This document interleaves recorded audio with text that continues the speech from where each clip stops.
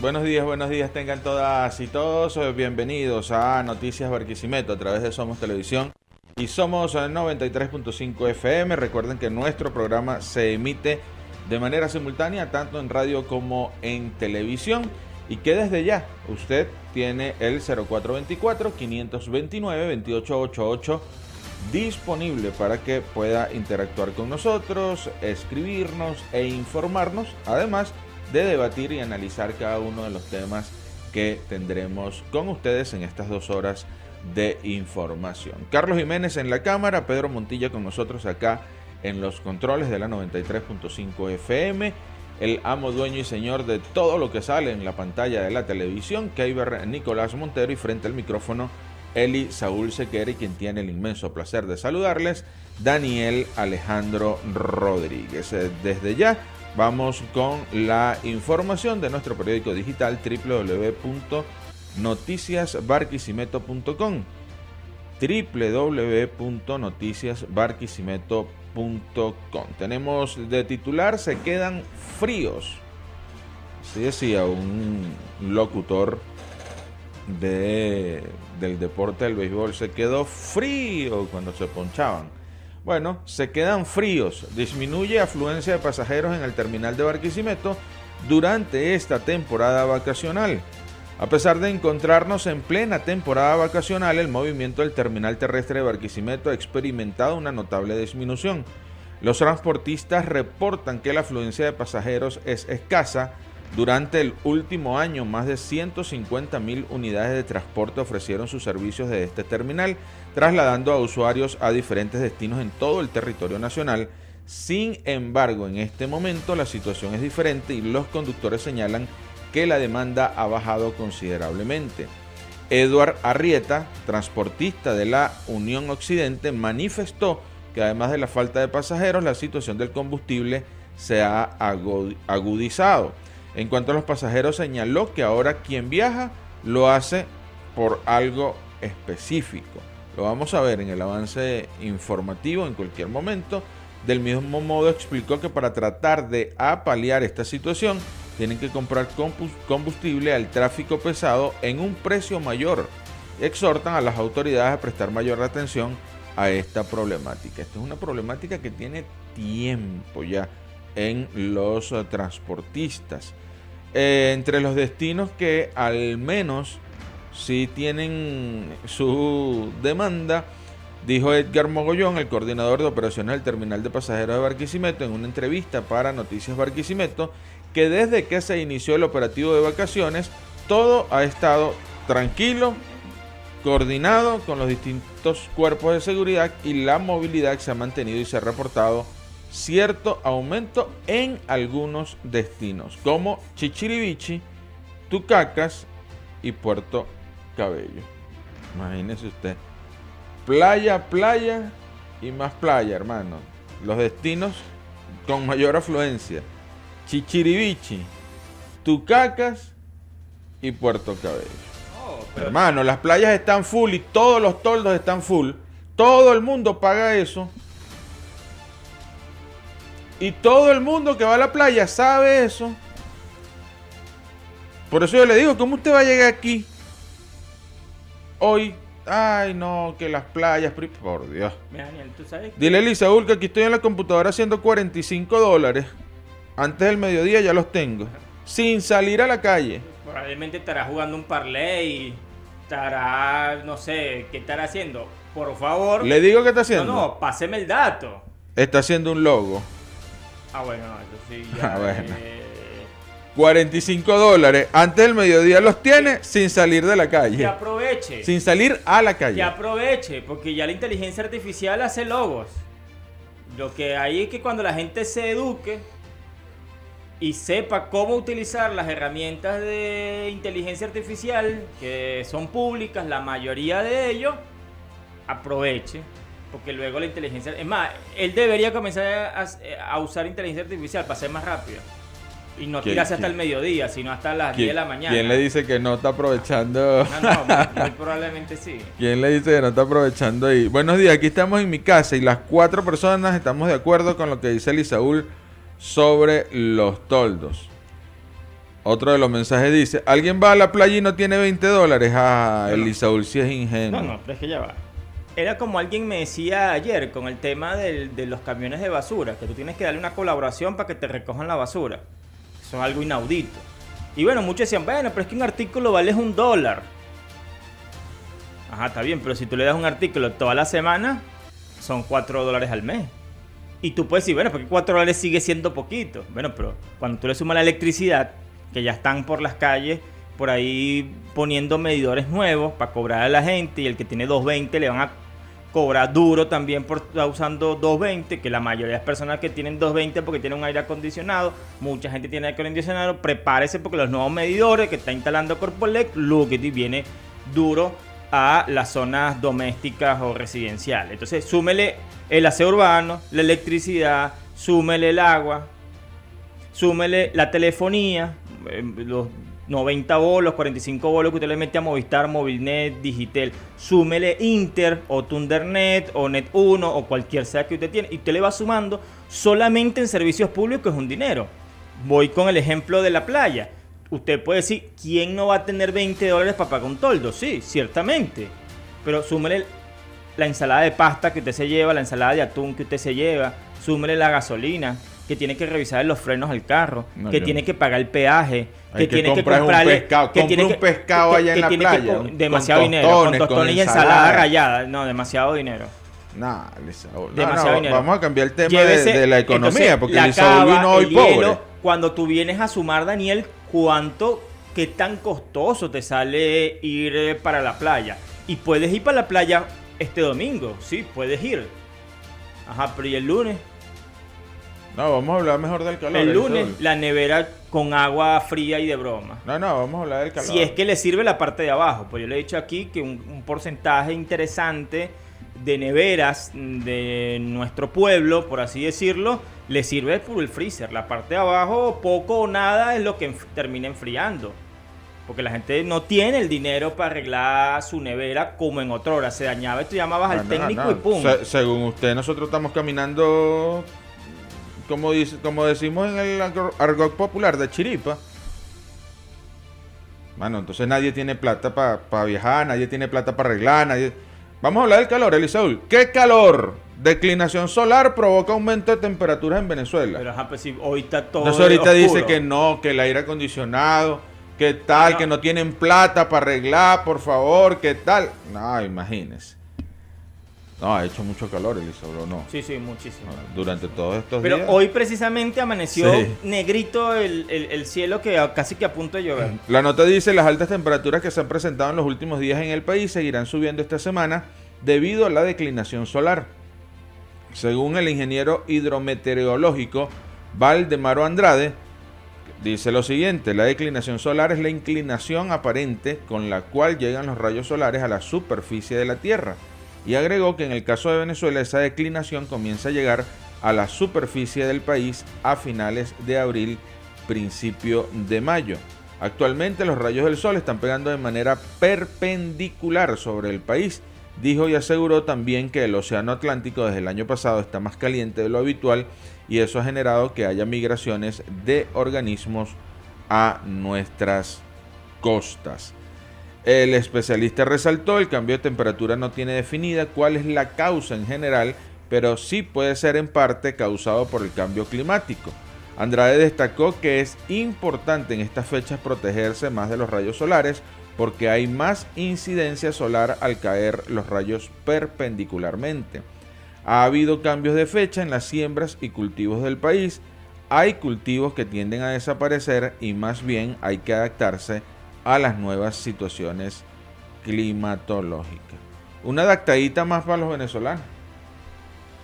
¿Qué, le puede costar una adaptadita más a- al venezolano con, con esto del calor? Bueno, y es lo que está, lo que está sucediendo.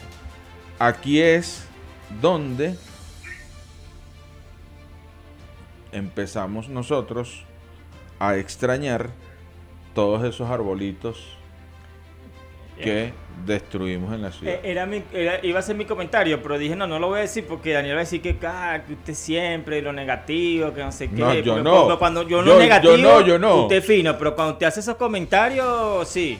No, no, yo no digo que usted lo negativo, no, aquí la gente es la que escribe, yo no. Entonces, eso era mi comentario. Bueno, pero hágalo usted con, con sus palabras bonitas, más largas. Aquí había una persona que luchaba mucho por el tema ambiental y que le dolía los no está. árboles. No, ya no está con nosotros, no está. Ok. Gerardo Oviedo.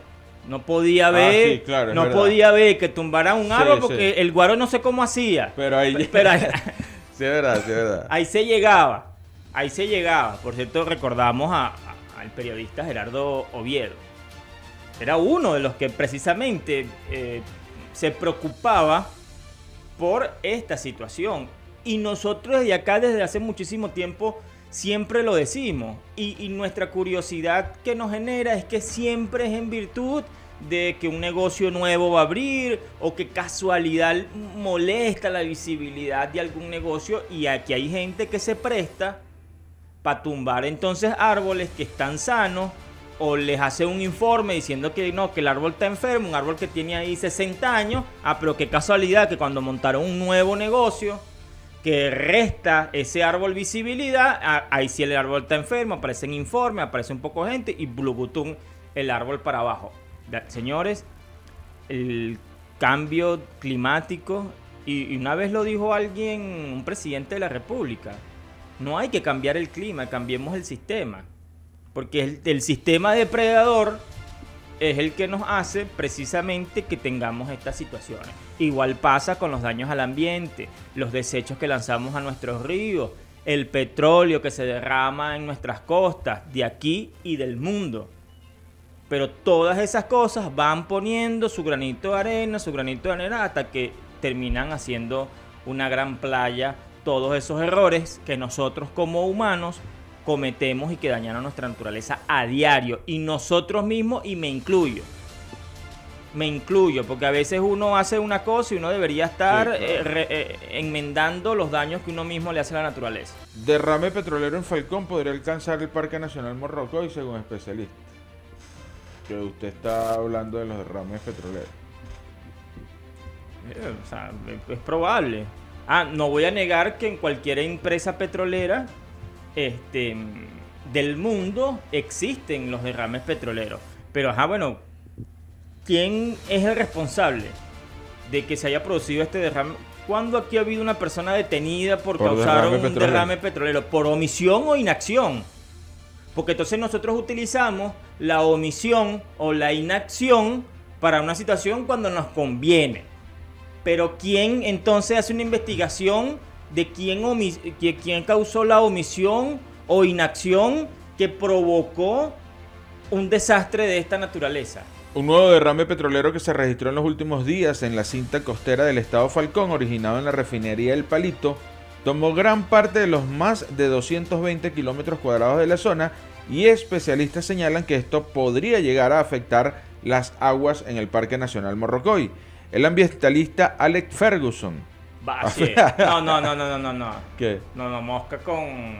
¿Y con qué? No, no, no, no. no. Yo conozco a uno y es Sir Alex Ferguson. Bueno, este es Alex No, no, Ferguson. eso huele raro. Ah, sí, Eh, no, no, cara. no, no, eh, O sea, usted no, usted no ha visto que le han colocado nombres a los niños por esos famosos. No, ex director del Manchester United. Ajá, pero ya va. Tan grande un director técnico de fútbol que fue Claro. entregado el título de Sir. Me imagino que el papá hoy dijo, "No, equipo, Ferguson", hoy tal. equipo de soy a partir de hace dos días Team Garnacho.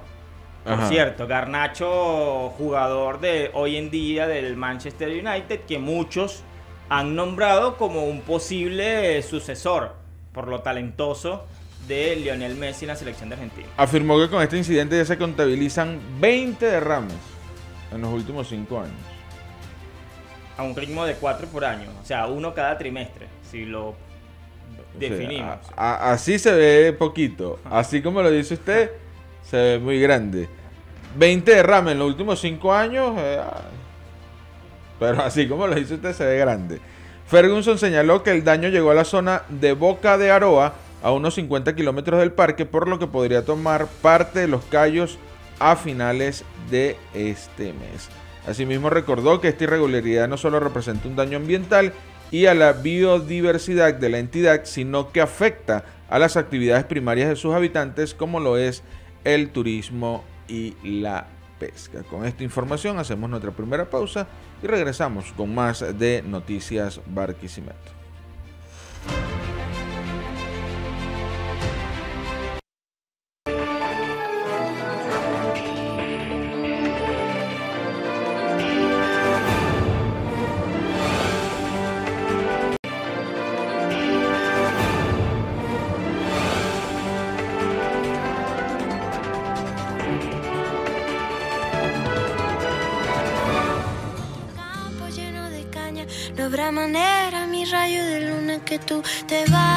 Regresamos a Noticias Barquisimeto a través de Somos Televisión y Somos 93.5 FM. Alex Ferguson es un excelente investigador y profesor de biología. Dicen acá. No es Sir. Tiene a un señor. Claro. Ah, mira. Y que es el autor de Serafín Masparrote. Del libro, de, de, historia, ¿qué era?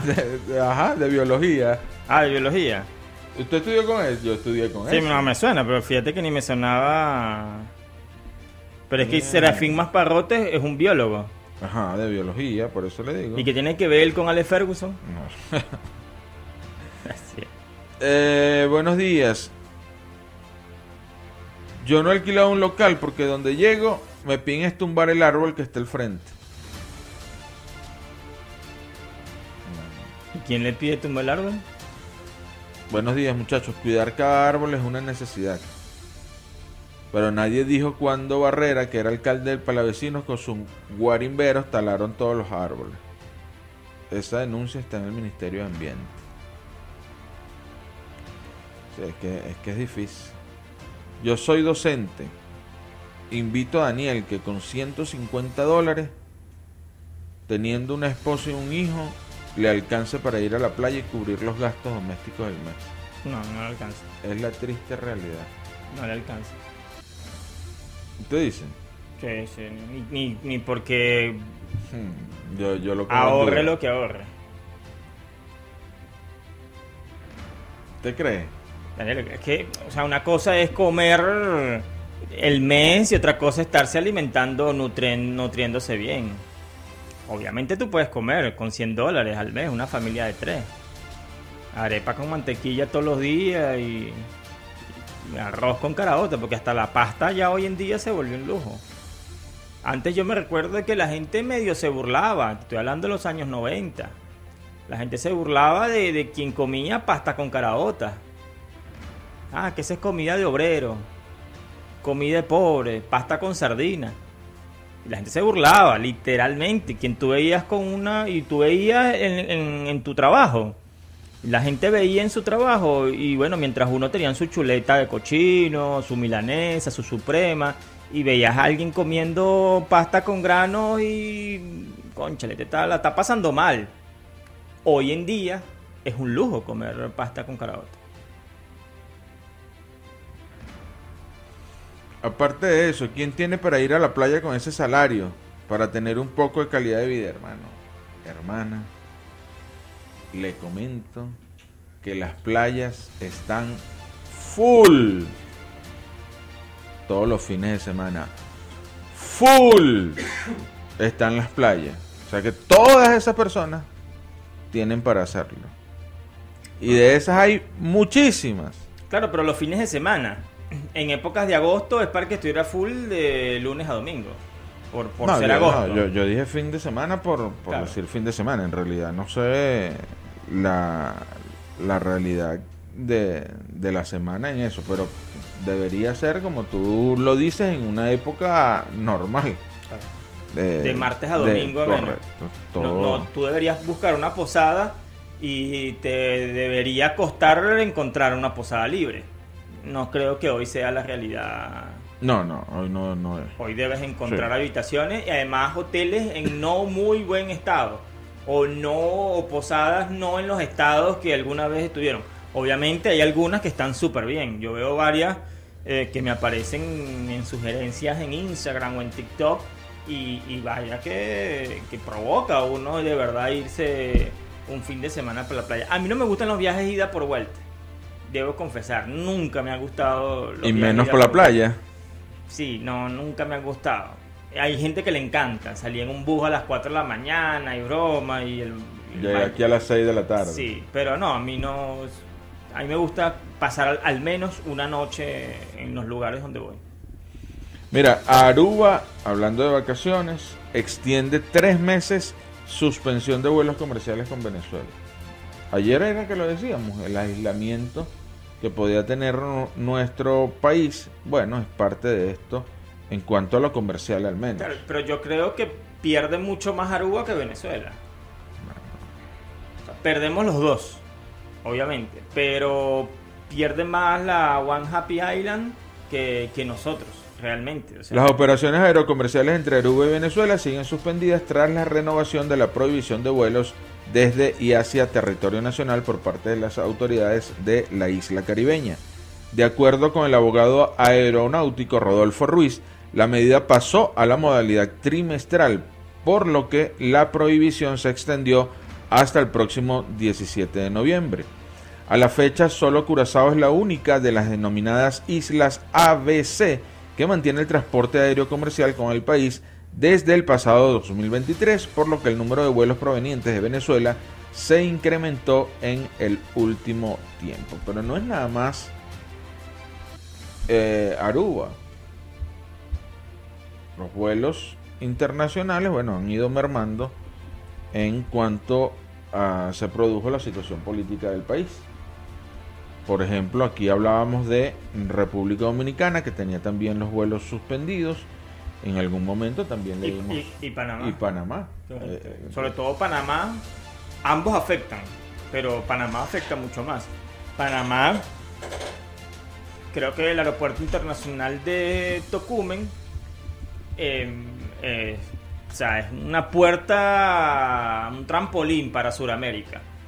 Entonces mucha gente que, que, suele ir a Argentina, Chile, etcétera, que va hacia el sur, eh, utiliza Panamá. Ni hablar, por ejemplo, con conexiones europeas, ¿no? Que aquí también disminuyó mucho ese tema. Eh, mucha gente prefiere viajar a través de, Panamá y de Panamá conectarse con el mundo entero. Eh, en, algún momento hemos estado aislados más que ahora. No, creo que, que una época que tuvimos mucho más. Creo que cuando la época de Guaidó no, nos costó muchísimo más. Además también hay que sumarle una vez que a través de Cadivi tú pagabas mm, boletos muy baratos y era el gobierno nacional a través de Cadivi quien le pagaba a las aerolíneas extranjeras.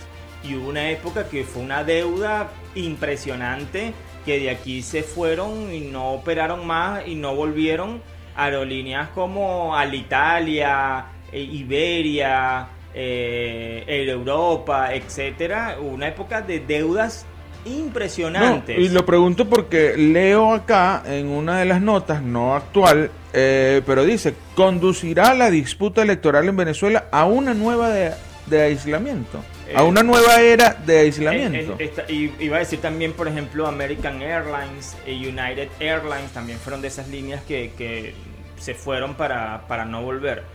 Em, en este caso yo lamento mucho y era una de las cosas que yo siempre mencionaba, que, ojalá luego de las elecciones del 28 de julio, sin importar quién fuese el ganador, me hubiese gustado ver una Venezuela libre de sanciones, una Venezuela libre de bloqueo económico, insisto, sin importar el, vencedor de esa contienda electoral, pero que le permitiera a Venezuela eh, estar de brazos abiertos al mundo.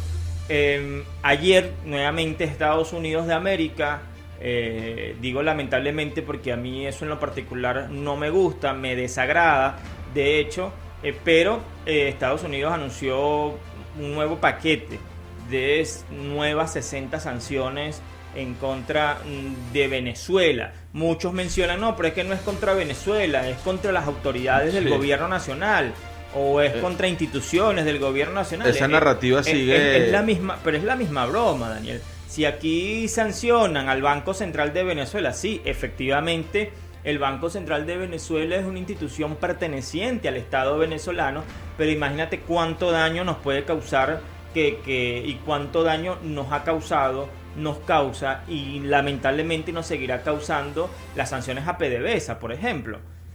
Entonces, y recordemos que en un pasado no pasado, en un pasado reciente, casi que un presente que, que, acaba de, de, ocurrir, aquellas famosas sanciones de PDVSA y a directivos de PDVSA fue lo que permitió eh, que se colocara en nuestro imaginario el término triangulación, que se veía como algo chévere. No, estamos triangulando. Sí, claro. y, y, nos pavoneábamos de decir que, bueno, tenemos nuestros secretos y broma. Ahí están los secretos. ¿Dónde está la red de corrupción de, Tarek El Aizami? Pero usted siempre lo dijo. Mm, del otro. Del Albacea. Eh, no. Sí, no, no, Alexac, no.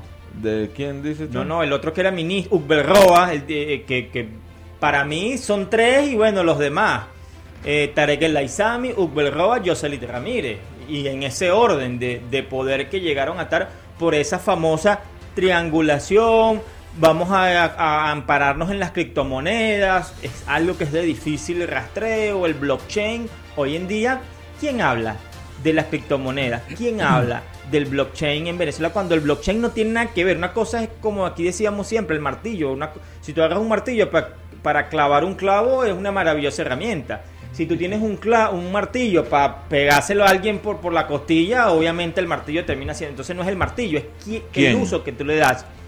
El blockchain es algo extremadamente seguro porque te permite que las personas en el mundo sean garantes de que una transacción sea verificable, auditable y constatable. Por ejemplo, un sistema, el mejor sistema electoral del mundo, debiera estar asociado a una cadena de blockchain.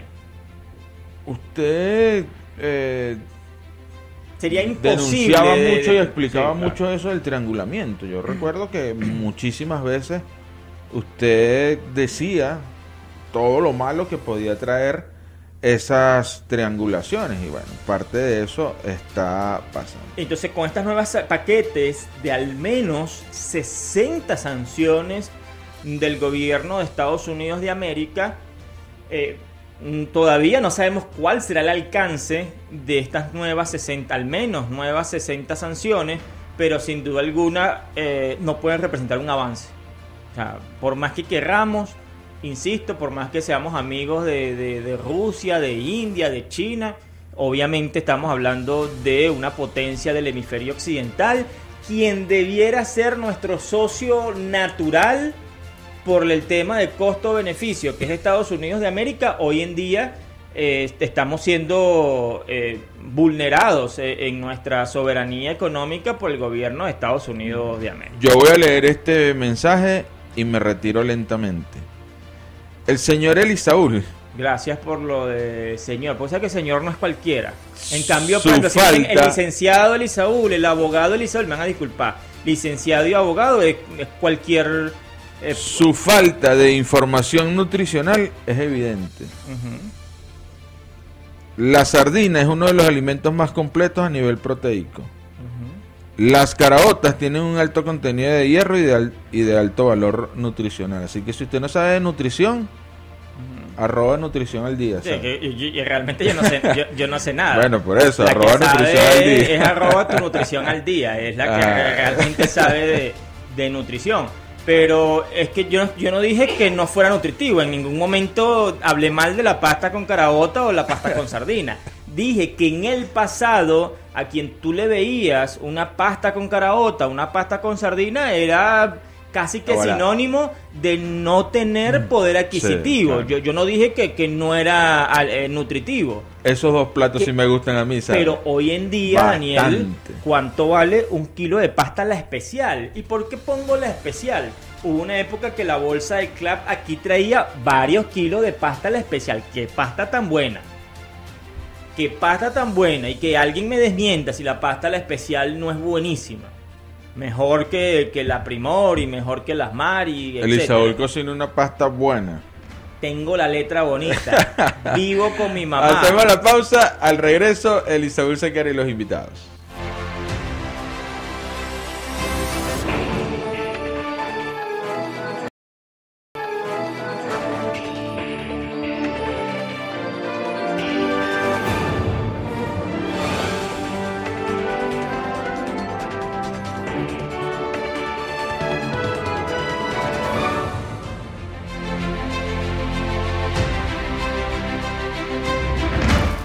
Estamos eh, de vuelta con más eh, de su programa Noticias Barquisimeto a través de las pantallas de Somos Televisión de manera simultánea por la romántica de Barquisimeto. Somos 93.5 FM. Recuerden que pueden interactuar junto a nosotros a través del 0424 529 2888 0424 529 2888. Hoy tenemos acá en el estudio par de invitados especiales para hablar de un tema interesante, además de apasionante y por supuesto que autóctono, originario de nuestras tierras, como lo es el caso del cocuy larense. Mejor que el falconiano. Yo me voy a poner aquí con que la arepa es de Colombia, se de Venezuela. Bueno, podemos decir que el cocuy de dónde es, si es de Lara o de Falcón. Para eso tenemos dos invitados especiales el día de hoy. Tenemos a Héctor Pineda, maestro cocuyero, además de la marca Siki por dos, cronista del municipio Urdaneta. Y también tenemos a Ernesto Ibarra, amigo de la casa, presidente de la Cámara de Turismo del municipio Iribarren. Bienvenidos a esta su casa Somos Televisión. Muchísimas gracias. Estamos inmensamente agradecidos en nombre de todos los productores de Cocuy del Estado Lara y especialmente los de mm, mis colegas de Siquisique. Bueno, estamos aquí dispuestos a un poco a, a ¿verdad? Eh, y hablar un poco de, eh, de el Día del Cocuy a nivel regional que se va a celebrar el 31 del corriente mes. Hay tres fechas que se celebra el Cocuy. ¿Por qué, ¿Por qué tantas? ¿Por qué hay tantas fechas? Bueno, porque eh, en el- la local, la local eh, que es el 25 de febrero, fue la primera que se, que se realizó. Todos los 25 de febrero. Y allí se hace, en, en una zona que se llama el Chimpiro, se realiza una, una cata o una degustación. ¿no? Luego, el 4 de, de agosto, eso se, se conmemora con motivo de el, cumpleaños de uno de los productores eh, famosos, más que productores, defensor de los productores, que es el señor Domingo Guaidó. Y Defendía a los cocuyeros sin- defendía a los sin, cocuyeros. tener plantaciones de agave sin, cocuy. sin tener plantaciones, de verdad que... Está como Fernando David, que Eh. yo soy un ganadero sin ganado y un agricultor sin tierra. Este era un cocuyero sin cocuy. Sí, señor. Y eh, ¿Cómo se llamaba en, el- en el noviembre, Domingo, Domingo Guaidó. ¿Se llamaba o se ya, llama? se llamaba, ya, Se él- llamaba. ya él murió. Y en el 15 de noviembre, con motivo de mm, modificarse la ley de alcoholes y especies alcohólicas para introducir el cocuy como una bebida o un destilado que pudiese comercializarse dentro y fuera del país. Esas son las tres fechas. En, en- en este caso, para darle la bienvenida también a Ernesto Ibarra, y uno se pregunta, bueno, pero ¿a qué tiene que ver Ibarren con, Sí. con el municipio Urdaneta? Bienvenido, Ernesto. Hola, buenos días. Gracias por la invitación. De verdad que siempre es un gusto compartir acá en el canal con ustedes. Siempre estás pendiente del desarrollo turístico y las actividades turísticas en, en la región. Además, buenos comentarios que nos lanzas a, a diario. Ahí varios de los comentarios son de Ernesto. Estamos pendientes. Estamos, nos, nos duele Barquisimeto, nos duele Lara, nos duele Venezuela.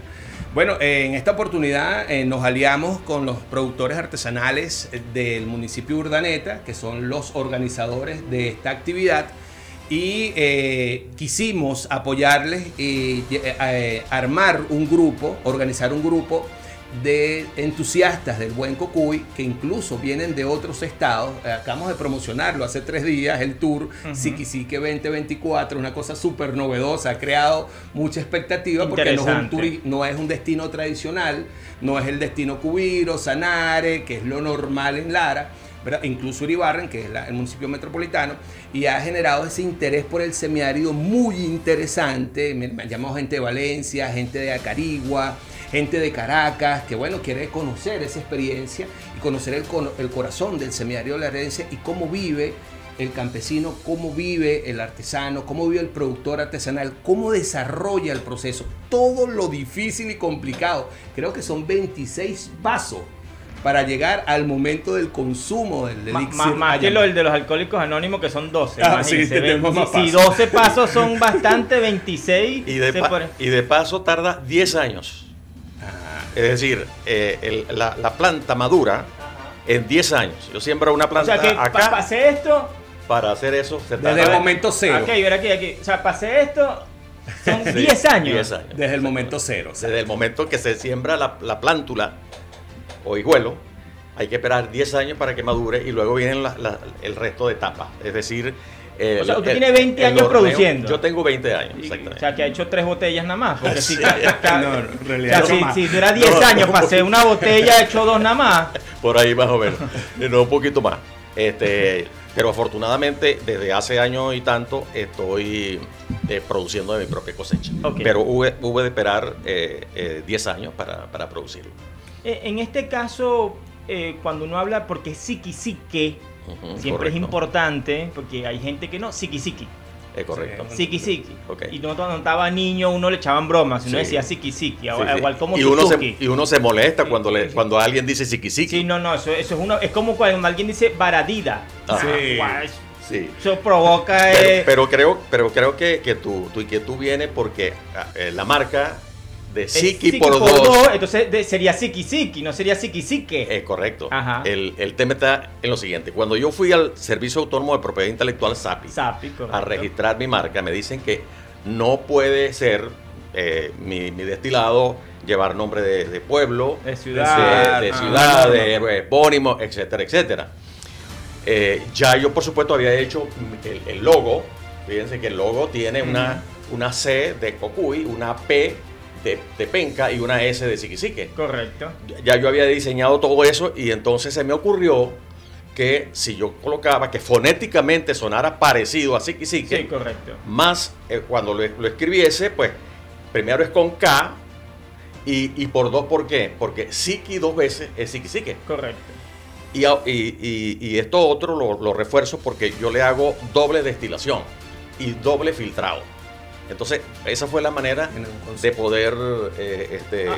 soportar, vamos a decir, soportar bajo, Ah, bajo una lógica, pues. Correcto. Y en este caso, Ernesto, si bien uno puede pensar que la gente de Urdaneta, del municipio de Urdaneta, ¿cómo se dice los urdanetenses? Urdanetense. Los urdanetenses, tierra de William Ereu, es que Sí, el pelotero, de Carre- Sí. bueno, y al- alcalde también Ereu, fue. una- uh, Imagínense, William, la tierra de William Ereu.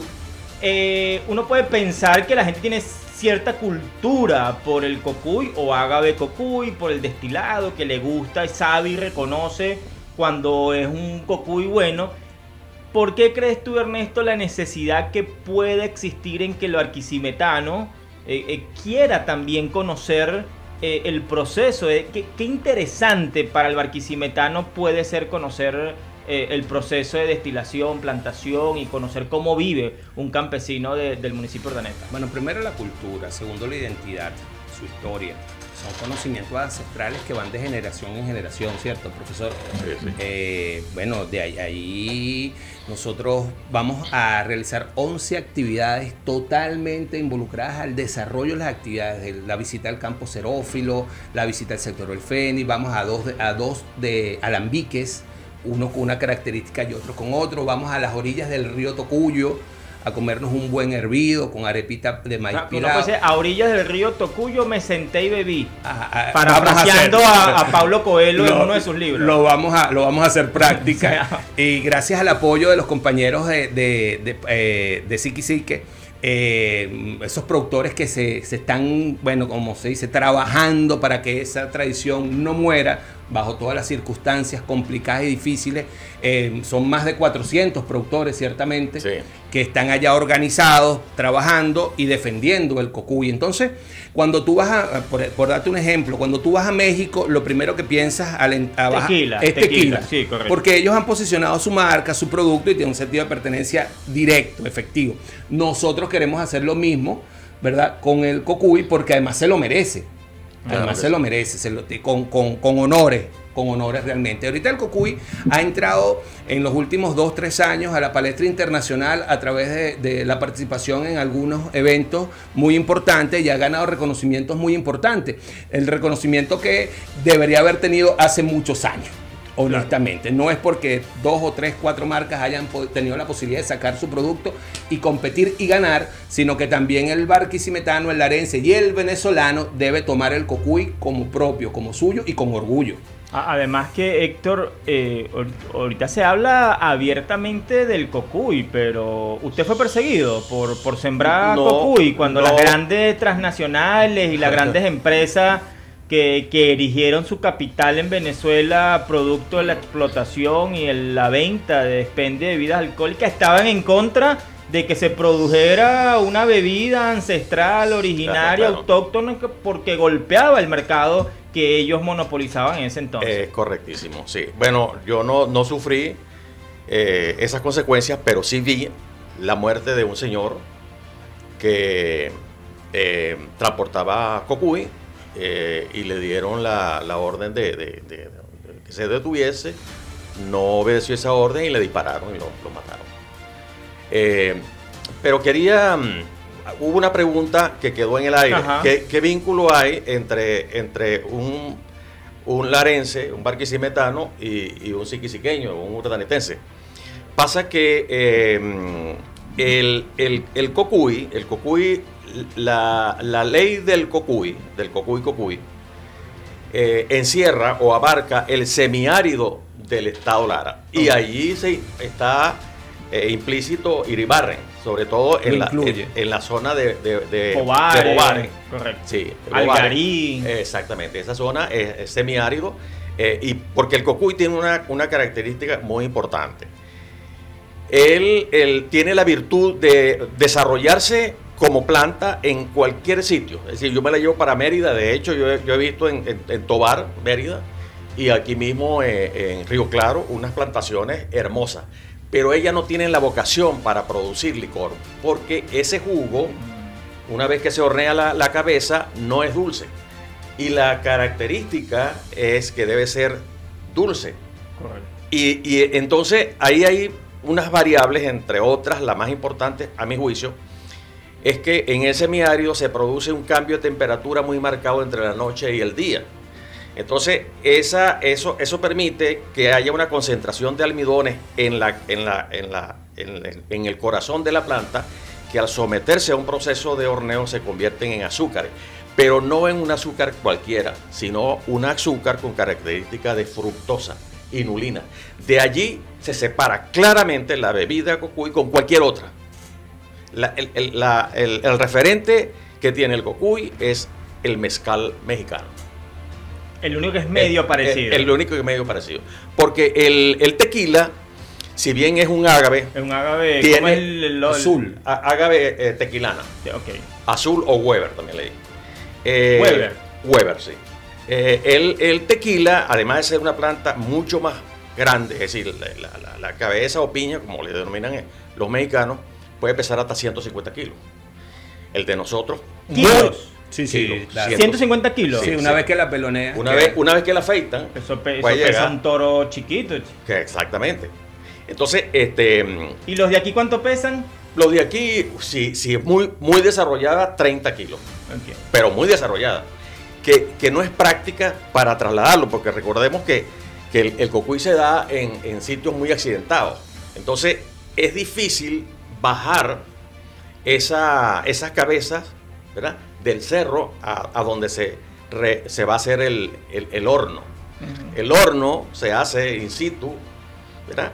Eh, Es una con- concavidad que se le agrega leña, se prende fuego y una vez que esa leña se ha convertido en brasas, se coloca arriba una camada de piedra refractaria. La piedra refractaria es una piedra que tiene la característica de absorber el calor e irlo disipando paulatinamente.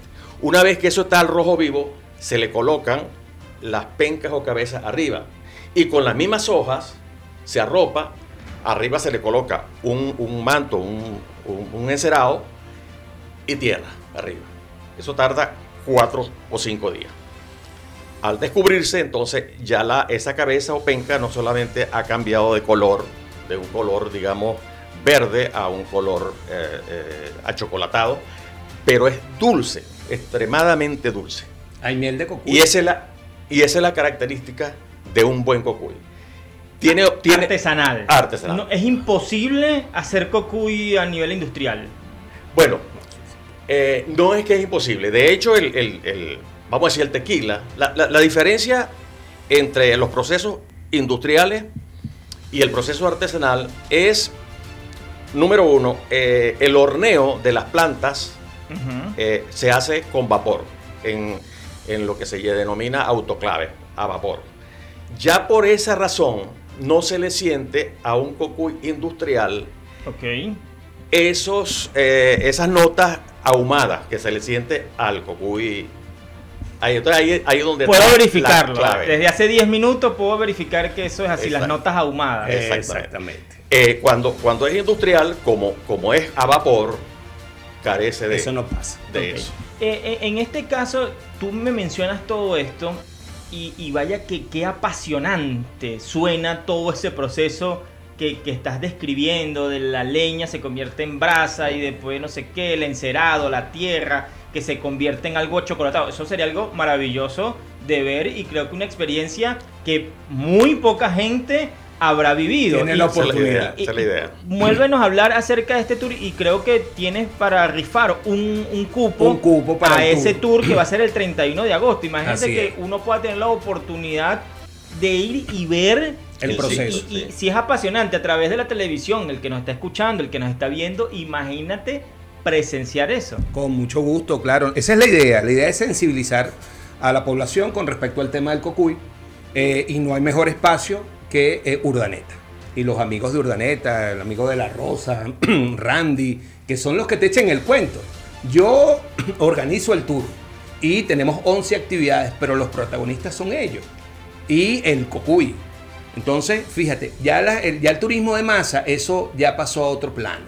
Ya estamos eh, con el turismo con propósito, que es muy diferente, con grupos pequeños, muy particular, vivencial, que, te- que te vas con una idea absolutamente diferente de esa experiencia, del contacto con esos espacios, con sus pobladores. No solamente entras a una posada, comes y te bañas y te retiras. No, no, no. Sino que te involucras con todo el contexto del Proceso inmersivo. Inmersivo, turismo inmersivo, exactamente.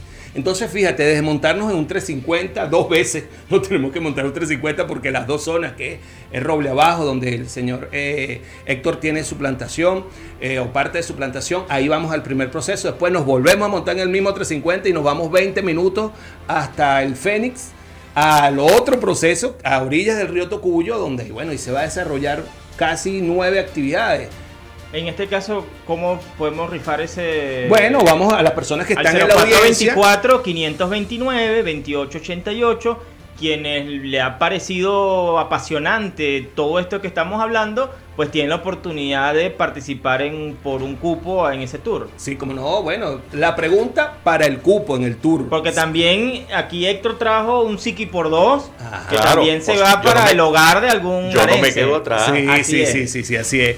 Eh, eh, Héctor tiene unas preguntas y unas anécdotas de Siquisique tan interesantes porque vamos a hacer un recorrido por el casco histórico y tiene una, tiene una historia esa- ese pueblo de Y una verdad. vez me comí un sitio que vende, que es especialista en carne asada o en chivo asado. Sí, es muy sí. famoso. Ese, ese sí, ahí a la No. entrada de- de- del pueblo. Está en, en- en casco histórico, o Sí, sea, está sí, ahí es- en la ciudad, es, pues.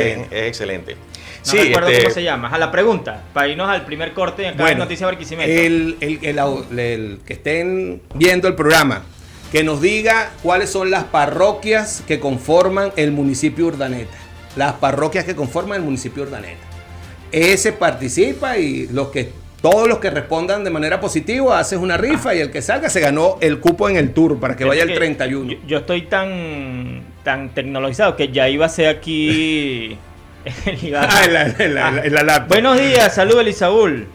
Quiero participar por el cupo del tour. Bueno, ya Ajá, sabe. bueno, ya sabe ya que al 0424 529 2888 escriban, quiero participar por el tour, pero tiene que decir el nombre de las tres parroquias. ¿Cuántas parroquias tiene? que conforma. Cuatro parroquias que conforman el municipio Urdaneta. Y para el Siki por dos, eh, el, pregunta sencilla. Sí, sencillita, ajá, sen- sencillita. sencillita, bueno, sencillita y que, y que, y que la pueda es decir, Googlear, pues, La aunque que, me, sea. la Sí, que me dijiste del presidente que era de Siquisic. bueno, bueno, vamos a ver cómo, cómo está la gente, Ajá, los, los- los- los oyentes y los... Eh, Siquisique tuvo un presidente de la República. Va, sí. Sí, yo. Ajá. Eh, le, le- le- le voy a dar el nombre. Pero ustedes me van a decir a quién le hizo entrega la banda presidencial ese siquisiqueño. O sea, ¿quién fue su sucesor? Ah, Exactamente. Ajá. El, el siquisiqueño que fue presidente de la República se llamó el general Víctor Rodríguez Párraga. Párraga. Eh, fue a final de 1899. Ahora, Ya, ya dígame a cuál es, quién ya se- creo que sé cuál es. Ah, creo, que, creo que la planta insolente vino por ahí por esa fecha. Ah, bueno. No sé si es ese, pero. Entonces, bueno, eh, ¿a quién le entregó la banda presidencial? El general Víctor Rodríguez, el siquisiqueño general Víctor Rodríguez Párraga. Ahí están las dos preguntas. Una, ¿cuáles son las cuatro parroquias del municipio de Urdaneta? ¿Y a quién le entregó el general Víctor, Víctor Rodríguez, Rodríguez Párraga la banda como presidente de la República? Eso al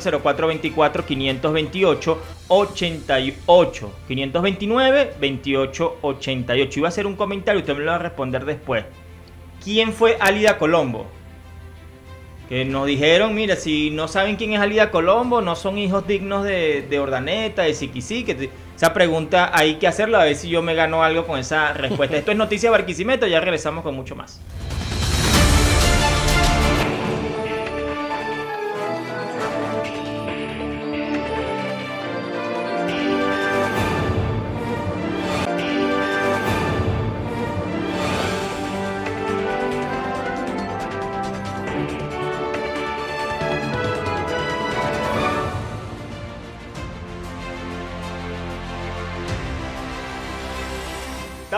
Vuelta con más de su programa Noticias Barquisimeto a través de la pantalla de Somos Televisión y de La Romántica de Barquisimeto somos 93.5 FM. Yo les digo que el programa se pone mejor cuando vamos al corte. Sí. Y- y- eh, Noticias Barquisimeto tiene esa característica. pone contento, que el, programa se pone genial en, en los cortes y, y ya, ya estoy más alegre que el corte anterior.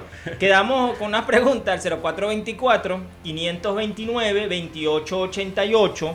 Veo mucha gente que está escribiendo por las parroquias de, de Urdaneta para eh, participar por el tour. Y recuerden también que la otra pregunta, ¿cuáles son las cuatro parroquias de Urdaneta? Y la otra pregunta es, ¿a quién le entregó eh, la banda de presidente de la República, el siquisiqueño, Víctor Rodríguez Párraga? General Víctor Rodríguez Párraga, le entregó la banda a otro presidente de la República. ¿A quién fue? Les eh, eso es para participar por la botella de Cocuy de Siki por 2, que es la marca del maestro Héctor Pineda, que lo tenemos acá en el estudio de Noticias Barquisimeto. Se lo recomiendo porque también estamos con Ernesto Ibarra, presidente de la Cámara de Turismo de Iribarren. Quedó al aire la pregunta de la señora Alida Colombo, pero eh, respóndame eso, Alida Colombo, para hacerle la siguiente pregunta de establecer por qué diferencia de cuando uno ve, lamentablemente, a los llamados eh, señores que están en una placita, en una esquina, y que la gente dice, ah, eso que esos son tan es bebiendo cocuy ahí a toda hora. Y, y cuando uno compara los precios de lo que debe valer una- un verdadero destilado de cocuy, uno dice, eso jamás y nunca puede ser considerado cocuy. Y eso creo que ha ido en- un poco en contra de la imagen del, del cocuy, ese, eh, esa mala publicidad de que toda bebida clarita, transparente, eh, la gente la llama cocuy en nuestras calles. Ok, vamos entonces con la primera pregunta. Álida ¿Qui- Colombo. ¿Quién era la señora Alida Colombo? Corom- Colombo era una siquisiqueña muy conocida en, en la región, diría yo, puesto que ella era una, mm, pri- primero era, eh, digamos, la directora del, del- correo. Y en los pueblos, ¿quién no conocía al, al director de- del correo? Igual que el, eh, que el telegrafista. Eran, eran personas muy conocidas por todo el mundo, ¿verdad? Así que Álida, pues, duró hasta su desaparición física, hasta su fallecimiento, pues, en ese cargo. Pero además de eso, este, mm, Álida eh, se especializó, diría yo, en lograr eh, legalizar eh, las tierras baldías, ¿verdad? Y eso también le hizo muy, muy, muy famosa. Es decir, que ella fungía de gestora en ese sentido, en ese aspecto, ¿no?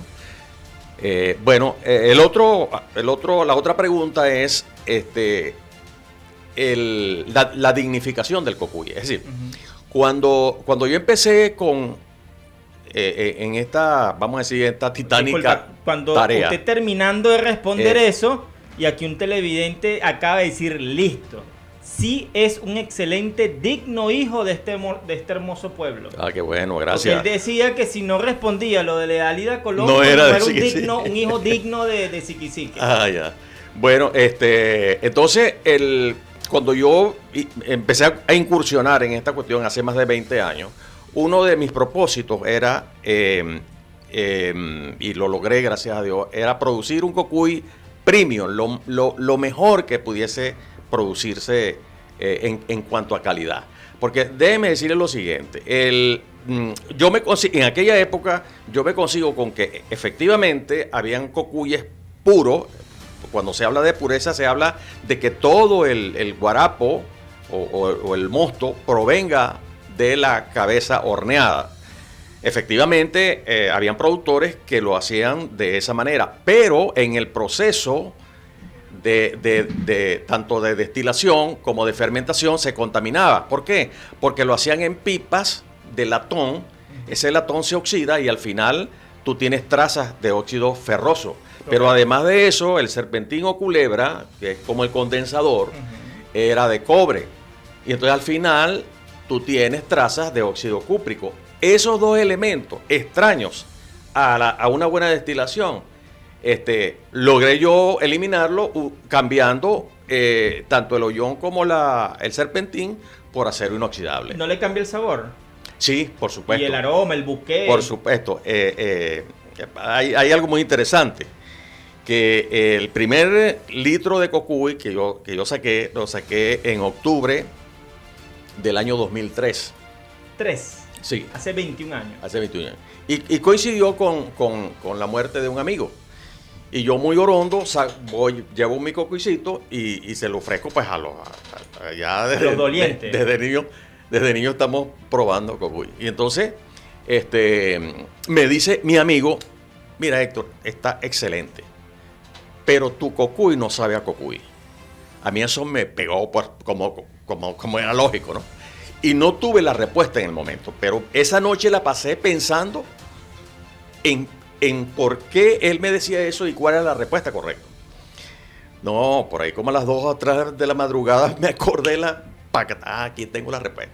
Y al otro día que le ofrezco a mi amigo, ya en el sepelio, este, En el Camposanto. en el Campo Santo le digo, mira, lo que sucede es que tú no habías bebido cocuy.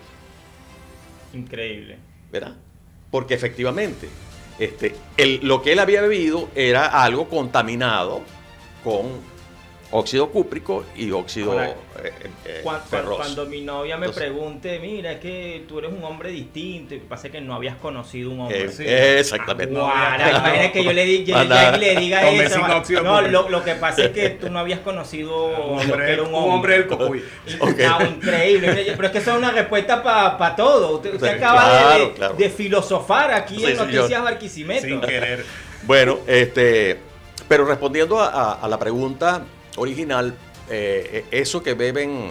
eh, ah, bueno, para terminar la idea, este, mm, eh, cuando yo me, me- me- me- le- le- les decía que, que me introduzco en estas, en estas lides, este, quería hacer efectivamente un, un cocuy puro. Ok.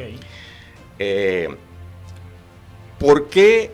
Ah, bueno, otra cosa, yo tengo veintipico de años de experiencia, pero, pero la experiencia que aportó mi tío, porque todo siquisiqueño tiene dentro de sus genes, de su árbol genológico, un productor de cocuy. Siquisique vivió de la producción de cocuy y de la cría de caprino hasta el año 1955, que empiezan a llegar isleños y, mm, e italianos ¿verdad? a cultivar cebolla, eh, Isleños provenientes de España, isleños, sí, Canarias, de, la- de las Islas de Canarias. las Islas Canarias, los es, canarios. es correcto. Allí cambia la economía de, de, de Siquisique. Pero antes de eso, vivía era de la producción de cocuy.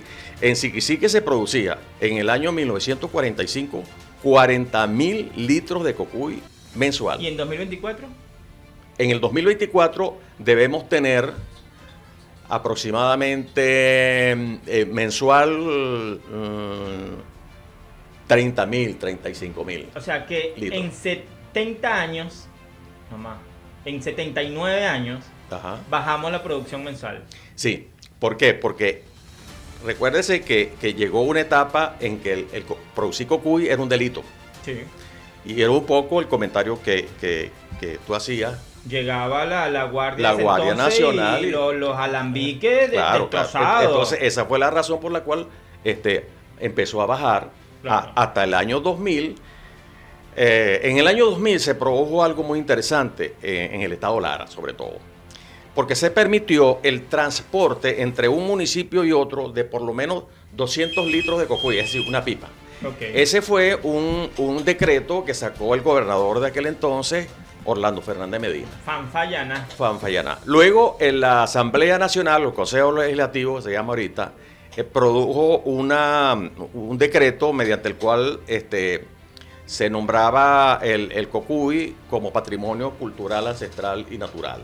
¿no? Entonces empezó a dársele apertura hasta el año 1000, hasta el año 2005, que la Asamblea Nacional modifica la ley de alcoholes y especies alcohólicas para introducir al cocuy como una bebida que puede, pudiese comercializarse dentro y fuera del país. Y el año pasado se aprobó la ley del cocuy, donde el cocuy... Aquí en Lara. No, en Venezuela. En Venezuela. Que, que Venezuela. Muchos han dicho que fue una iniciativa que llevó, obviamente, pero que imagino que se fue labrando desde las bases el diputado Julio Chávez.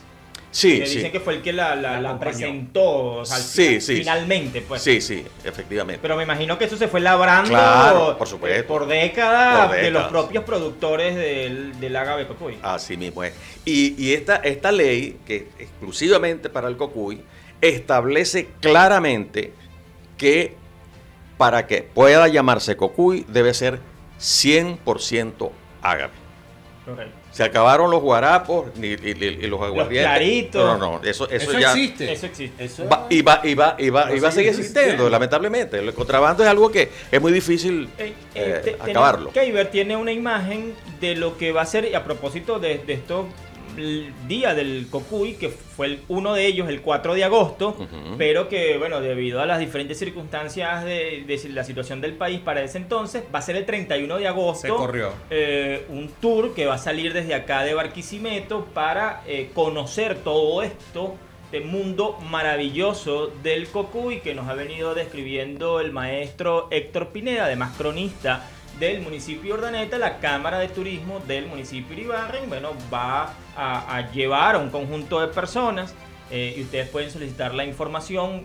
Estuve viendo el itinerario y de verdad que muy interesante. No sé si Keiber allí tiene eh, lista la imagen para que eh, nos pueda allí mostrar acerca de esto usted tiene la oportunidad de participar. Recuerda que estamos rifando por acá en Noticias Barquisimeto a través de la Cámara de Turismo de Iribarren un cupo para participar en este tour Siquisique 2024.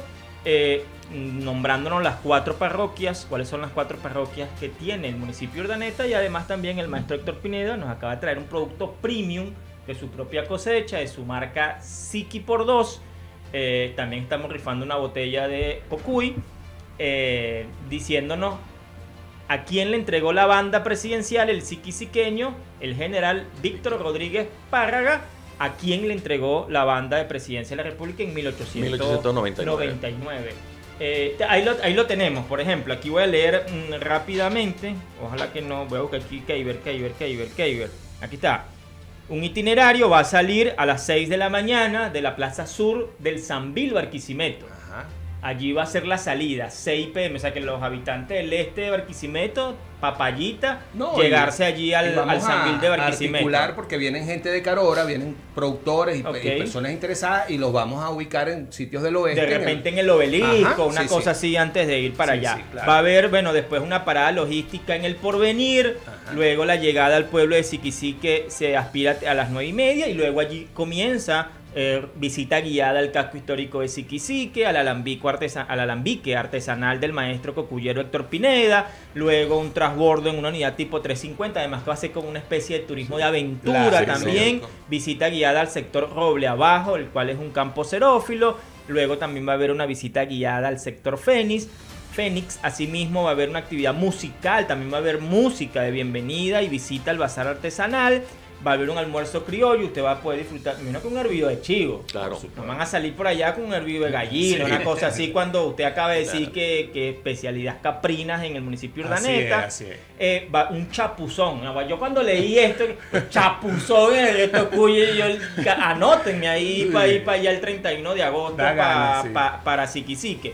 Posteriormente, una visita a un alambique rural, el Fénix. Y posteriormente, bueno, habrá otra actividad musical especial de cierre, retorno a la población de Siquisique. Y bueno, se aspira hasta en Barquisimeto en horas de la tarde. Bien noche. contento. Y Esto to- es espectacular. Y todo Esto eso por la módica suma de 20 Sí, dólares. fíjese que, que no, eh, eh, imagínate transporte, comida, chapuzón, Hidratación, hidratación. No, no, de verdad que, que sí, sí vale la pena. Y, y yo voy a poner este ejemplo, ¿no? Yo desde hace tiempo quería ir a un sitio a hacer este tipo de, de conocer cómo se hace eh, el caso el de, del bodegas Pomar. Mm, Y uno, vendimia. uno, uno pregunta y te dicen, no, bueno, le avisamos cuando se vaya a dar. O sea, Sí. que es una vez al año. Una o dos veces. Y, y no hay mucha información. Además que es súper costoso. Y además que, bueno, de uva usted puede ir, se va para Argentina, se va para Chile y y va a ver algo igualito.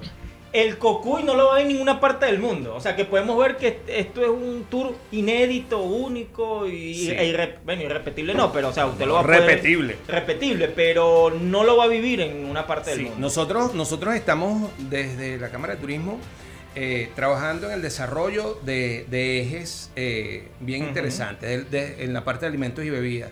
La primera opción que estamos manejando es Bobare, que corresponde al municipio de Ibarre, que también hay productores, está el señor Crispín allá, el maestro Crispín, con Camacaro. Camacaro también. Y ellos, bueno, tienen, tenemos esa primera opción más cerca, pero también tenemos la opción madre, que es el municipio de Urdaneta. Claro. Vamos a desarrollar las dos opciones. Podemos decirle que es la meca del La- cocuy. eh, por supuesto. Si parafraseamos un poco. Por Sí, supuesto, ese- por supuesto. lo, lo- Nosotros Nosotros, coincidimos. nosotros podemos ir para un minarete, podemos ir para una cuestión, para una mezquita, tal, pero el que quiera peregrinar se va para la A- meca. al sitio. Sí, sí. Eh, eh, no tenemos que ir para Siquisí. al sitio. Entonces, esa es la intención básica que de eh, apoyar y ayudar a hacer la alianza con la alcaldía, que también está bien pendiente la alcaldía de Urdaneta, los productores artesanales. Hamad Fíjate que- al Chaer. así es. él es- También llegarían árabes a Ordaneta. Sí, claro. En aquella O sea, época. que usted habló de que llegaron canarios, de que llegaron Sí, italianos, bueno, bueno, y árabes, porque jamás al Chaer. Claro, árabe, árabe, eh, eh, claro, no como agricultores, Ajá. sino pues Pero como comerciante. con la, con la maleta en, en el- Con el cachimbo, con el. Sí. Fíjate que el, el año pasado, cuando sale la ley, coincide la, prim- coincide el- la promulgación de la ley con la primera edición de la Expo Cocuy que hicimos en el Lido. Eso fue un evento in- increíble. Sí, señor. Y esa experiencia la trasladamos a Caracas el mismo año, cuatro meses después. Estuvimos en, en- en la estancia La Merced- en la estancia. PDVSA. Y eh, estuvimos en Caracas con. Bien con bonito, el- ahí en Altamira, PDVSA la y, los estancia, muy y se le- y tuvimos la orquesta típica nacional. Sí, sí, y sí. eh, nos acompañaron marcas de Falcón, de, de Lara. Y bueno, nosotros estamos empujando. Hicimos un conversatorio del Cocuy porque eso es muy interesante, los conversatorios. Por acá nos preguntaba el licenciado en comercio exterior, William Reina, experto en café. No sé si en cocuy, pero sé que es un experto en el área cafetería. Nos pregunta sobre el cocuy de exportación, o sea, cómo se está manejando ese tema en la actualidad. Bueno, este es, efectivamente hay ya dos, mm, dos marcas que, que han exportado. Eh, primero fue eh, Dusa y luego fue Balsamal. Eh, por cierto que mm, eh, la, hace como tres días hubo una reunión donde este, consignamos una, una documentación para optar al IGP. IGP es la indicación geográfica protegida.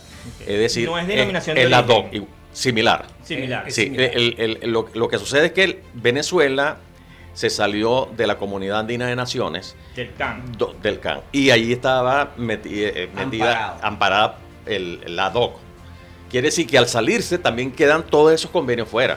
Eso Entonces se buscó de- otro mecanismo. tema de, de aislarnos de los organismos multilaterales, ¿no? Entonces se buscó otro mecanismo que es la indicación geográfica pro- pro- protegi- protegida que tiene mayor alcance, porque tiene Europa, los Estados Unidos. Es Mien- mejor tener IGP que DOC. Cla- claro, porque DOC era sureña nada más, eh, hacia el sur, Correcto. mientras que esto, el, el- el- espectro es mayor. Nos abre hacia el norte. Correcto. Y eh, eh, yo eh, estoy optando por la IGP. Eh, yo creo que dentro de, de un mes, Dios mediante, debo tener la... Nos preguntan por acá, buenos días, ¿cómo se llama y dónde se encuentra el cocuy del maestro Pineda? Lo hemos dicho, se llama Siki X2, pero bueno, es Siki por, Por 2. dos, sí. Pero ¿dónde se puede encontrar eh, su cocuy? Ya tenemos Bueno, un sitio. Bueno, este... La 19 con... No, eh, Aparte. Personalmente, tiene que ser personalmente porque mi producción es limitada. Sí, es muy ¿verdad? limitada. Todavía no, no, no tengo un sitio don- donde la gente acudir, pero personalmente si me llama, puedo dar eh, mi Sí, número sí, claro, telefónico. por supuesto. 0414 512 7547. Repítela, como... 0414 512 7547. Me puede llamar y yo con muchísimo gusto le atiendo y le respondo cualquier pregunta que tenga que ver con Cocuy y con la historia del histórico No, pueblo no, de Siquisic. No sé si le pasa, pero imagínate que le diga, hola maestro, deme un Miguel Jaime. ¿No, ¿no le ha pasado? Sí, sí, sí. Ah, sí, bueno, yo, me- yo lo digo porque me imagino que... No, me- que- es, es más, mi- mi- Miguel Jaime se posesionó de... ¿Por qué? ¿Por qué, ¿Por qué la gente Cocuy, Miguel Jaime, Miguel Jaime, Miguel Jaime, si es el mejor, es el más sonado? ¿Por qué se posicionó tanto en el mercado? ¿Tuvo más plata para meterle al marketing? ¿Que Bueno, su y- producción es mayor? Ok, esa, esa respuesta yo se la voy a dejar a, A mí. a mi amigo. Del yo- marketing. Yo, yo- yo recordaba una anécdota de Albert Einstein con su conductor. Ajá. Que el conductor, después de escuchar tantas conferencias de Albert Einstein recorriendo el mundo, llegó, no, Einstein, yo me sé esa broma de memoria. Dame que en esta ciudad yo, Soy- yo, yo yo- la yo- hago". yo la hago. Ven, y el hombre empieza, el chofer, y de- se lanzó. Claro, porque en esa época no había redes sociales. Y el tipo se hizo pasar por Albert Einstein. Claro. Mire, y el tipo llegó y se lanzó el discurso igualito, chico, que Albert Einstein. Y llega alguien del público y le hace una pregunta que no la habían Fuera hecho en otro lado. Y nada, el hombre quedó contra la pared. Y el tipo le dijo, mira, esa pregunta es tan fácil, tan sencilla, que mi conductor que está ahí en la puerta se la va a responder. Y listo, y salió Albert Einstein a, y- A responderla. a respo- o sea, si tú- usted, esa pregunta está tan fácil que se la va a responder el No, una, de la una Cámara de una cuestión de mercadeo y de momento, pues. Fue un momento especial, un mercadeo bien realizado y bueno, se posicionó en el mercado regional e incluso nacional. Esa es la respuesta más adecuada. Ahora te digo una cosa, nosotros tenemos un espacio que se llama de agave, destilados y algo más, donde estamos intentando reunir eh, la mayor cantidad eh, de destilados de todo el estado Lara, incluso de Falcón, para que tengan la mm, posibilidad, los amantes de Urbel Cocú, de, de ir hasta allá y adquirirlo cuando el maestro no lo tenga, no esté, esté en Siquisique o porque él vive en Caudares. Nosotros tenemos en Barquisimeto un espacio que se llama De Agave, nos pueden seguir, De. Agave, en la carrera 19 con calle 14. Es un, un emprendimiento con todas las de la ley. Y bueno, es un espacio muy bonito, claro, Sí, estamos armonizando, claro. tiene cosas muy interesantes, puedes conseguir artesanía, puedes conseguir libros, una lectura, a ti que te gusta leer muchísimo, tenemos unos libros muy buenos allá, tenemos un área de, de exposición tipo galería, entonces degustas, haces cata. Algo que te quería comentar, eh, Dura, la organización del evento en Siquisique, los compañeros productores van a, a destacarse en el, en- en el momento eh, de que estemos en el Fénix con el bazar artesanal porque van a participar, ¿verdad? Muchas personas de la comunidad, incluso las personas que trabajan con dulcería criolla. Que Y- imagino que le echa- algunos le echarán algo de cocuy por ahí. Hay ¿ah? de todo, Sí, sí. de todo Para la relacionado. coctelería, los especialistas en, en coctelería te mencionan que el cocuy es una bebida una base, espe- espectacular. una base para- genial para la coctelería. coctelería. Y, lo- y, y- y los, los cocineros también. que es muy versátil. Y para la en- gastronomía. En, en el área que de estamos hablando de un, producto, de un producto que es maravilloso, que, que es autóctono, Los grandes chefs originario. de este estado tienen el cocuy de o sea, primerito en menos su que. Emerson Freite Mira, no, no hay ningún chef que yo conozca reconocido que no use el cocuy dentro de sus platos. Desde el estado Lara. Por acá me preguntan, buenos días, pregúntele al invitado, al maestro Héctor Pineda, ¿qué tal es el cocuy que producen en la cocora? Si tiene conocimiento, ¿no? Yo, no, yo ni sé dónde queda la cocora. Bueno, la Cocora es un caserío que está antes de Siquisique. Le, le- le voy a, valga la, la- la oportunidad y la pregunta para decirle lo siguiente. Fíjense que el, el área que está considerada el- el, eh, en el IGP, en la IGP, es el semiárido del estado Lara. Y yo explicaba por qué allí, por ese cambio de temperatura muy marcado, a diferencia de bosques tropicales, que los hay allá también en esa zona, pero la temperatura es como muy constante. Claro, Es las ¿verdad? variaciones. te Es la, es variación. De hecho, de hecho, cuando a los franceses le encomiendan el análisis, el estudio para, para crear eh, industrias pomar, ellos fueron a Siquisique, hicieron un análisis y le recomendaron a los dueños de Pomar que las tierras ideales para la uva era la de Siquisique, ok. No alta gracia, ¿dónde está? no Altagracia. Entonces, cuando ellos fueron a, adquirir, pues ya estaban tomadas por italianos y, y- e isleños, que como te dije anteriormente, eh, el omito, pues. Y por supuesto, entonces, la, la- la- muy, muy costoso. pues. Claro. Y, y entonces, bueno, el plan B, bueno, allá alta gracia. Pero, pero eh, la- las características climáticas que requiere la uva es similar a la de el cocuy. El fruto de la vid. Esto, esto viene por lo siguiente, porque resulta que la, Pregunta crucigramera. la cocora- ¿Cuál es el fruto de la vid? Guau, esa no la pelaban en los crucigramas. Sí, es sí. increíble, se salían todos. la cocora eh, es, es un sitio más o menos semimontañoso y este, mm, eh, seguramente no, no, no tiene estas características de las cuales yo he venido hablando sobre, sobre un cambio muy marcado eh, de temperatura. ¿verdad? Este, igual, igual pasaría en, en- en la zona de, de- de Parupano. Este, yo, yo intervine en, en el primer censo de productores de, de cocuy en el estado Lara. Eso se hizo en el, en el 2003. Eh, y desde Aguada Grande hacia allá, no, se, no había un solo alambique en, aqu- en el 2003. Ok. Este, ¿Dónde estaba la mayoría? En, en- para ese entonces, en el estado de Lara habían 365 alambiques, de los cuales 300 estaban en Urdaneta. Y dentro de Urdaneta, todos estaban entre la parroquia Siquisique y la parroquia Sagua. Ya dijo dos. Dije dos. Del, Sí. del concurso. Me, Me yo- vas a tener que dar yo- media yo, botella. No. yo estoy increíble de la cantidad de mensajes de gente que está participando, que yo soy de allá, mi familia está allá, sería bonito ganarme el tour para ir, Ah, otros bueno, por la tal, chévere. no, que mi esposa también quiere ir, o sea, de verdad ha causado bastante expectativa eh, eh, el tema, ¿no? Por acá alguien nos dice, y, y- y- y es un tema que no hemos hablado, mm, pero acá dice Elisaúl, por cierto, aquí hay gente que me dice Isaúl, no, no, es Eli Saúl. Este, yo le debo mucho al Cocuy.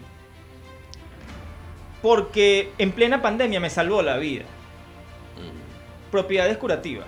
Rápidamente, porque ya tenemos Bueno, ya segundos rápidamente. El cocuy es tiene verdad que el cocuy dentro de su componente Ajá. era una, una, una, una sustancia, lo han dicho los especialistas, que se llama niacina. La niacina, cuando entra al torrente sanguíneo, limpia el endotelio, que es la parte interna de las arterias, pero además es un vasodilatador periférico. Ah, pero eso, usted me habla de vasodilatador y, y- y me suena que eso es interesante para Ah, por supuesto, para- para los- claro, para es que el- por ahí- El género masculino. Sí, señor. Buenísimo. Sí, sí, sí, sí. Ya, Ah, ¿cuántas, lo certifico. ¿Cuántas cajas más que- como vasodita? Bueno, efectivamente, el vaso, este, eh, el, Ya el- tengo morocho. El, el, cocu- el cocuy sustituye la famosa pastilla aquella, Ok. la azul. Entonces, bueno, este, eh, eso seguramente genera, hay, hay una anécdota de- del año 1856, cuando a Barquisimeto eh, le llegó la pandemia del, del cólera, allá llegó el coletazo. Y entonces, bueno, contrataron los servicios de dos bebedores de cocuy y tal. Resulta que los tipos se sal- no les pasó nada, se salvaron. Y, y- y- y le dieron un trago a uno que se estaba muriendo y el tipo se levantó y tal. Este, todas esas cosas, a mí me tocó en un congreso de cardiólogos, que me invitó el doctor Aguilar, eh, Ramón Aguilar, para que yo hablara de estas, de estas cosas. Por supuesto que la parte científica yo no la manejo, pero por algo, cuando el río Suena, suena, claro. es Ok. porque Piedras trae. Así Entonces, bueno, este, yo creo que por ahí van los tiros. Tiene que haber, ¿verdad? De hecho, eh, a raíz de, de- de la producción de esto que, que, que se llamó, que le decían mal llamado cocuy, que, eh, bueno, eso, eso fue eh, en extremo, en Siquisí que llegaban diariamente 15 gandolas de, de melaza. Y, y, y cada gandola agarra Pa' mezclarlo. 35 para sacar un mal llamado cocuy. Mal llamado un- un- cocuy. un Te- un melacero. Bueno, resulta que eso invadió a Caracas. El cocuy se Correcto. conoció a Venezuela a raíz de eso. Correcto. Por eso yo, yo digo que mal no, no hay mal que por bien no venga. así.